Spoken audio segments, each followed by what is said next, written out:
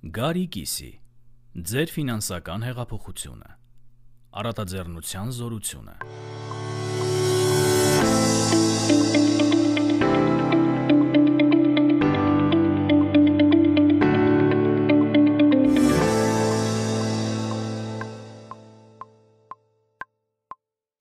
Գլուխ 11 Խոստում նրանց, ովքեր արատաձեռն են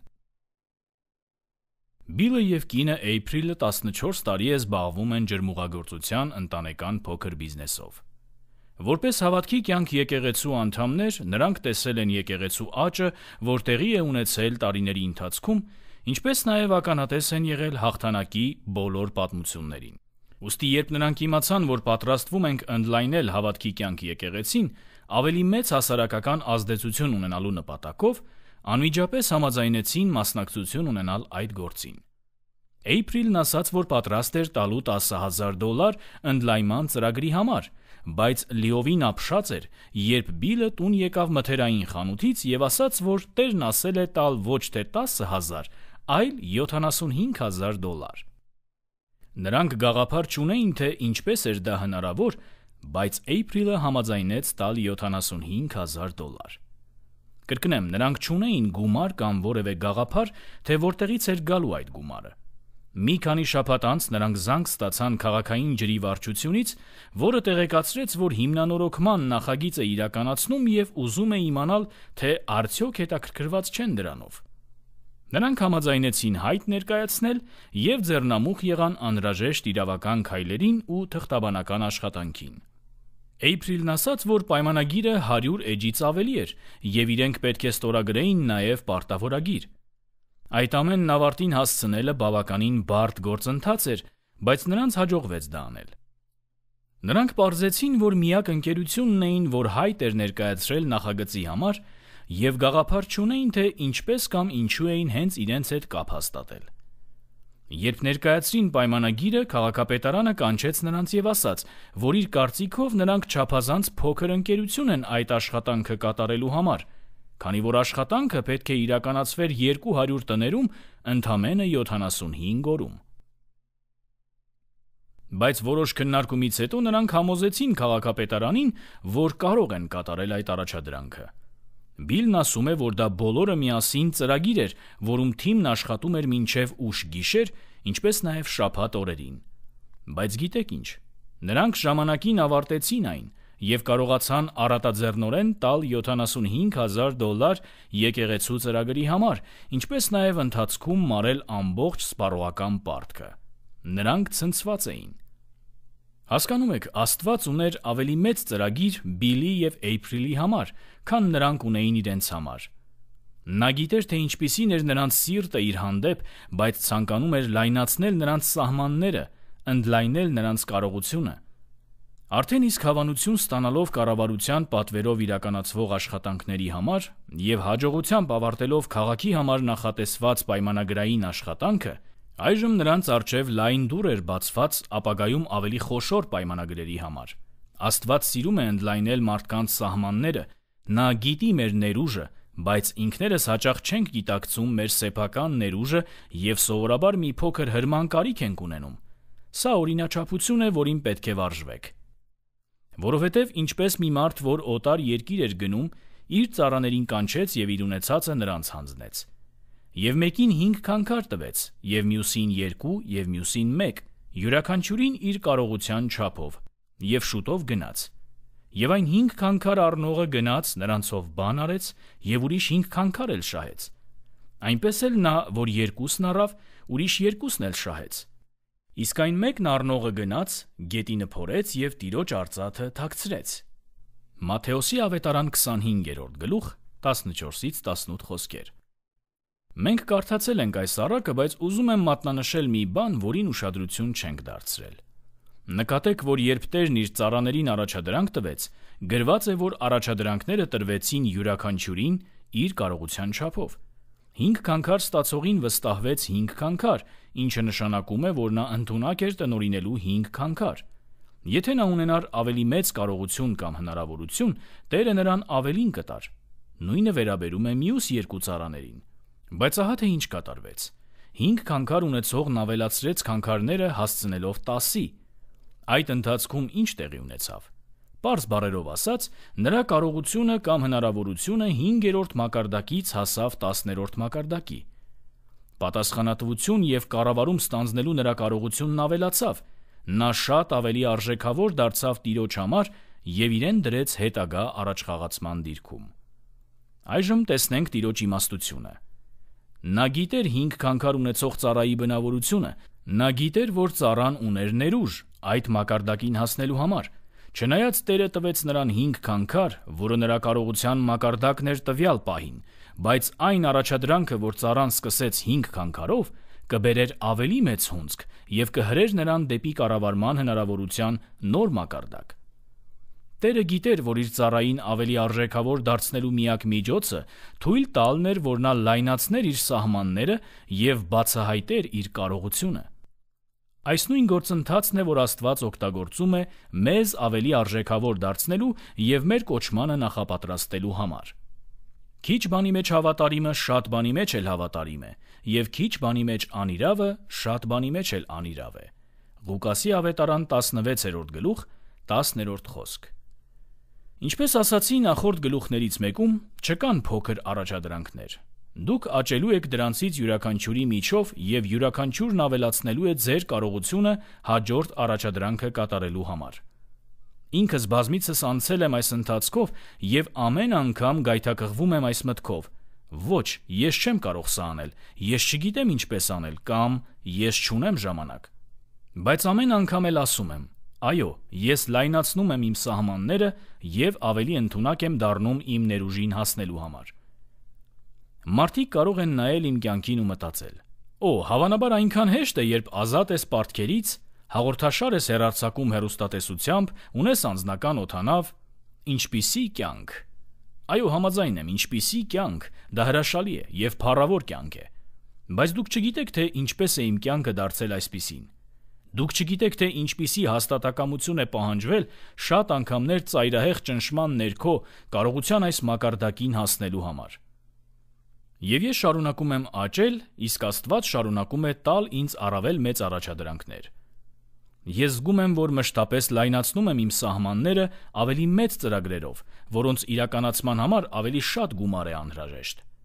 Բայց ես չեմ փոխանակի այդ ճնշումը եւ երբեմն քաոսը աշխարի հետ, որովհետեւ այդ համակարգի միջոցով է Աստված մարզում ինձ, օգնելով իրականացնել այն ամենը, ինչի համար կանչված եմ։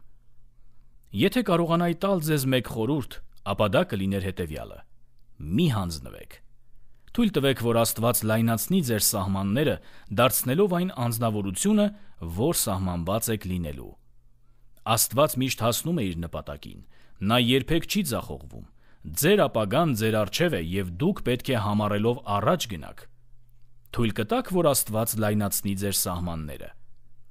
Չորեքշաբթի երեկոյան աղոթքի ծառայության էի։ Դուստերս առաջնորդում էր աղոթքը, երբ հանկարծ կանգ առավ, նայեց ինձ եւ սկսեց մարգարեանալ։ Ահա թե ինչ ասաց։ Տերն ասում է. «Հունցքը չափազանց մեծ է քեզ համար։ Ես լայնացնում եմ քո սահմանները։ Միայն իմ հոգով կարող ես հասկանալ, թե ինչ է լինելու։ Քայլ կանես, թույլ կտաս, որ առաջնորդեմ քեզ դժվար բաների մեջ, որոնք վեր են քո հասկացողությունից, անհնարինի մեջ։ Ես մտածեցի. «Օ ոչ, ես գիտեմ, թե ինչ է սա նշանակում։ Դա առաջին անգամը չէր։ Ես գնահատում եմ այն փաստը, որ Աստված հարցնում է ինձ, արդյոք թույլ կտամ, որ առաջնորդի ինձ դժվար բաների, անհնարին բաների մեջ։ Ես գիտեմ, որ դրանք դառնում են հիասքանչ պատմություններ, երբ անցնում ես դրանց միջով, եւ Աստված միշտ հայտնում է իրեն։ Բայց գիտեմ նաեւ սահմանները լայնացնելու ցավը, այն գինը, որ պետք է վճարես, որ เป զի գնաս այնտեղ, որտեղ երբեք չես եղել։ Բայց եւ սա մեծ բայց է, գիտեմ նաեւ Աստծո բարությունը եւ նրա առաջխաղացման համակարգը, ուստի անմիջապես ասացի այո։ Աստված ցանկանում է դուրս բերել այն ներուժը, որ դրել է ձեր մեջ։ Դա է միակ ճանապարհը ձեր կոչմանը հասնելու համար։ Նա ստիպված է լայնացնել ձեր սահմանները։ Ինչպես է Աստված լայնացնում մեր սահմանները։ Ճնշման միջոցով։ Եթե փչում եք փուչիկը եւ օդը դուրս թողնում, այն ձգվում է, ավելի մեծանում։ Նույնը կատարվում է ձեզ եւ ինձ հետ։ Երբ ենթարկվում ենք ճնշման եւ չենք հանձնվում, մեր կարողությունը մեծանում է։ Կարողություն նշանակում է ավելի մեծ ծրագրեր եւ իմիջայլոց ավելի մեծ ստուգումներ։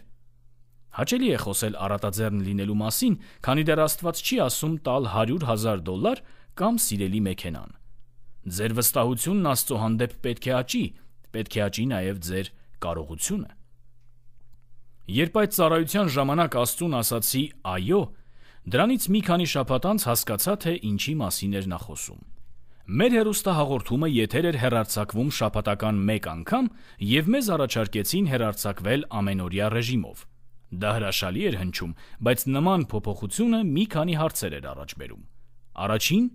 մեր եթերաժամանակի արժեքը անմիջապես բարձրանալու էր 500%-ով։ Իսկ մենք հազիվ էինք կարողանում վճարել շաբաթական սակագինը։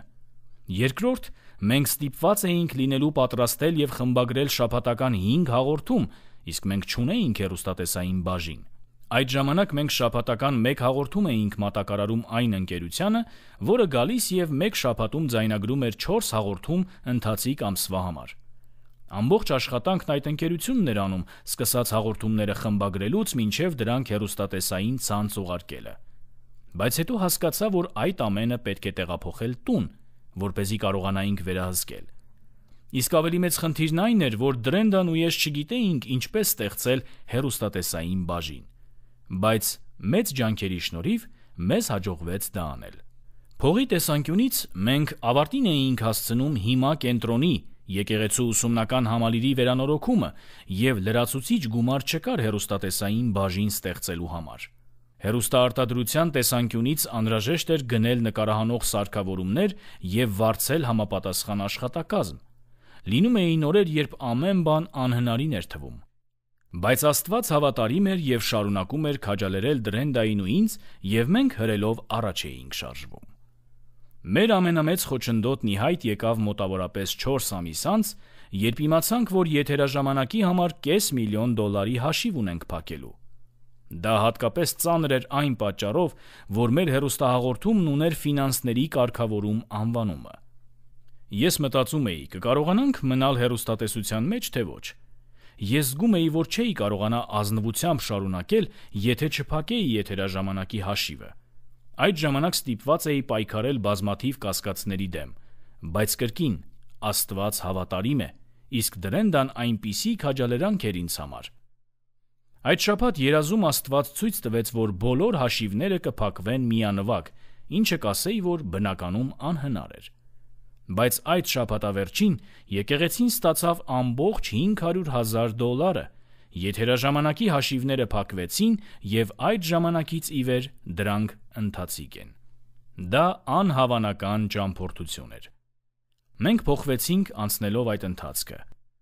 Այժմ հերարցակում ենք երկու ամենօրյա հաղորդում եւ միլիոններ ծախսում ավետարանը տարածելու համար։ Մենք հետ ենք նայում այն ամենին, ինչին բախվել ենք, եւ դա այնքան էլ մեծ չի թվում, որքան այն ժամանակ էր։ Միշտ պետք է հիշեք այն, ինչ սովորեցինք առաջին գլխում։ Աստծո շնորհքը գործում է ձեզ հետ։ Այս տարիներին Աստծո հետ քայլելով ես իսկապես հասկացա, թե ինչու է Պողոսի թղթերի մեծ մասը սկսվում հետևյալ խոսքերով. Շնորհք եւ խաղաղություն ձեզ Աստված մեր Հորից եւ Տեր Հիսուս Քրիստոսից։ Մենք պետք է հիշենք, որ մենակ չենք։ Նրա շնորհքը այդ գերբնական զորությունը գործում է մեր կյանքում։ Իսկապես խիզախություն է հարկավոր ասելու այո եւ քայլ անելու դեպի անհայտը։ Բայց արժե դա անել, ես կարող եմ վկայել դա։ Դրենդան ու ես շրջագայել ենք աշխարհով, քարոզելով ավետարանը։ Մեր աչքերի առջև տեղի են ունեցել բոլոր հրաշքները, որ արձանագրվել են նոր կտակարանում։ Տեսել ենք, թե ինչպես են փոխվել հազարավոր մարդկանց կյանքեր եւ ճաշակել ենք երկրի բարիքը։ Չկա ավելի լավ տեղ, քան նպատակը։ Իմ աղոթքն է, որ դուք ավելանաք ամեն բարի գործի մեջ, որ Աստված տալիս է ձեզ, եւ հիշեք, թե որքան կարեւոր է առատաձեռն լինելը։ Ավարտին ուզում եմ ներկայացնել իմ ամենասիրելի սաղմոսներից մեկը։ Ալելույա։ Երանելի է այն մարդը, որ Տիրոջից վախենում է, եւ նրա պատվիրանները շատ հավանում է։ Նրա զավակը զորավոր կլինի երկրի վրա, ուղիղների ցեղը կորշնվի։ Ապրանք եւ հարստություն կլինի նրա տանը, եւ նրա արդարությունը կմնա հավիտյան։ Խավարի մեջ լույս է ծագում ուղիղների համար, ողորմած, գթած եւ արդար է։ Երանի այն մարդուն, որ ողորմած է եւ փող է տալիս եւ իր բանը շինում է իրավունքով, որովհետեւ նա տեղից հավիտյան չի շարժվի, հավիտենական հիշատակի համար կլինի արդարը, չար համբավից չի վախենա, նրա սիրտը պատրաստ է, որ Տիրոջը հուսա։ Նրա սիրտը հաստատված է եւ չի վախենա, ինչեւ որ նայի իր նեղիչների վրա։ Նա փռեց եւ աղքատներին տվեց, նրա արդարությունը կմնա հավիտյան, նրա եղջյուրը կբարձրանա փառքով, ամբարիշտը կտեսնի եւ կբարկանա, իր ատամները կկրճտացնի եւ կհալվի, ամբարիշտների ցանկությունը կկորչի։ Սաղմոս 112 1-ից 10 խոսքեր։ Ինձ դուր է գալիս այն մասը, որտեղ ասվում է, որ ամբարիշտները կբարկանան։ Վերջին խոսքը միշտ Աստծունն է։ Հաջողությունը միշտ էլ ամենամեծ վրեժխնդրությունն է։ Եթե գիտեք իմ պատմությունը, ապա կիմանաք, որ ավակ դպրոցի քննությունից կտրվել եմ 1.3 միջին միավորով։ Երբ Աստված կանչեց ինձ քարոզելու եւ ասաց, որ սովորեմ քոլեջում, ես անհամբեր չէի սպասում դրան։ Առաջին տարին անգլերենի դասին ես պետք է ռեֆերատ գրեի։ Իմ դասախոսը վերադարձրեց աշխատանքս, որի առաջին էջին մի մեծ F, այսինքն անբավարար գնահատական էր գրված հետևյալ նշումով. Միթե հնարավոր է, որ դուք նույնիսկ ավակ դպրոց եք հաճախել։ Ես ստիպված էի ուսուցիչ վարձել, որ เป զի օգներ ինձ սովորելու այն, ինչը երբեք չէի սովորել ավակ դպրոցում։ Երբ լույս տեսավ իմ առաջին գիրքը, ես էլեկտրոնային նամակ ստացա անգլերենի դասախոսից։ Նամակում գրված էր. Միթե հնարավոր է, որ սա այն նույն Գարի Կիսին է, ով սովորում էր իմ դասարանում։ Նա ցնցված էր, որ ես գիրք էի գրել։ Հեյ, թող Աստված եւ դուք ցնցեք բոլոր ձեր ընկերներին։ Մի անznավորություն, որի հետ սովորել էի ավակ դպրոցում, մի օր կանգ առավ իմ ընկերության գրասենյակի մոտ եւ ասաց. Ես պարզապես չեմ հասկանում։ Գարին դուրս մնաց ավակ դպրոցից, իսկ հիմա հերոստատեսությամբ ելույթ է ունենում աշխարհով մեկ։ Ես սիրում եմ այսպիսի պատմություններ, եւ Աստված նույնպես սիրում է այսպիսի պատմություններ։ Այնպես որ հիշեք, ձեր պատմությունը չի ավարտվել։ Ջանք թափեք առատաձեռն լինելու ամենուրեք, քանի որ դուք ներկայացնում եք Աստծո սիրտը։ Սովորեք, թե ինչպես է թակավորությունը գործում, եւ դուք կվայելեք այն հրաշալի կյանքը, որ Աստված խոստացել է։ Գարի Կիսի Որովհետև այս турքի ծառայությունը ոչ թե միայն սուրբերի պակասությունն է լրացնում, այլև շատերի գոհությունը շատացնում է Աստծո համար, որ այս ծառայության փորձով Աստծուն փառավորեն ձեր Քրիստոսի ավետարանին հնազանդ դավանության համար եւ այն առատաձեռնության համար, որ կիսում եք նրանց եւ ամենի հետ։